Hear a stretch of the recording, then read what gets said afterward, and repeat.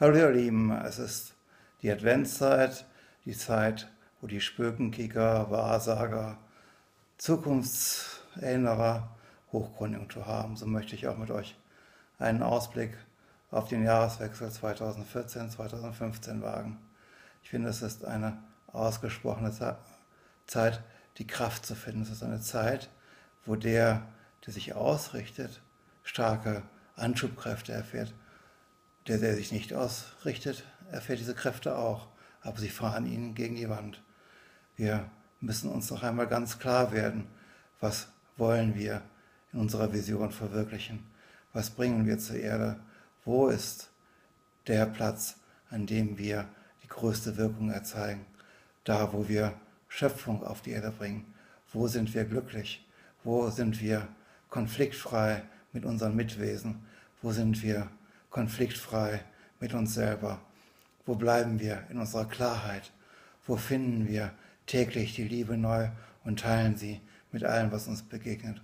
Wo macht uns Dienen Freude? Wo ist der Platz, wo unser Herz nicht mehr zugeht, wo er sich nicht mehr verschließt vor der Welt, sondern unentwegt sich verströmt und verströmt und verströmt? Da sollten wir hingehen. Wir sollten es jetzt machen. Wir sollten es nicht auf die lange Bank schieben. Es ist Zeit, die alten heiligen Kühe sterben zu lassen. Es ist Zeit für einen Neubeginn, für einen mutigen Neubeginn, der das Alter mit Freude zurücklässt, es in Liebe verabschiedet und dem Neuen mit aller Kraft entgegenhält, die Arme öffnet für eine neue Welt, die Arme öffnet für die eigene Schöpfung, für die Unbegrenztheit der Liebe, für das Glücklichsein an jedem Tag und nicht nur an so Feiertagen. In diesem Sinne wünsche ich euch eine fröhliche Visionsfindung.